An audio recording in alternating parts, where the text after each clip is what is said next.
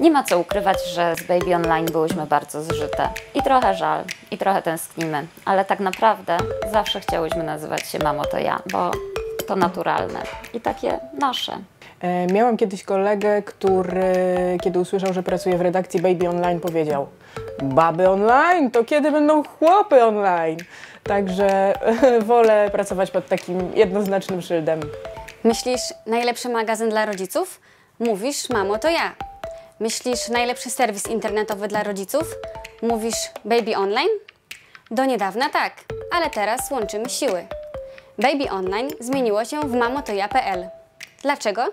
Bo tak jest łatwiej i wygodniej. Mamo to ja i mamotoja.pl tworzone są przecież przez tę samą redakcję. Szukasz fachowych porad na temat wychowania i pielęgnacji dziecka? Sprawdź w Mamo to ja w gazecie i w internecie.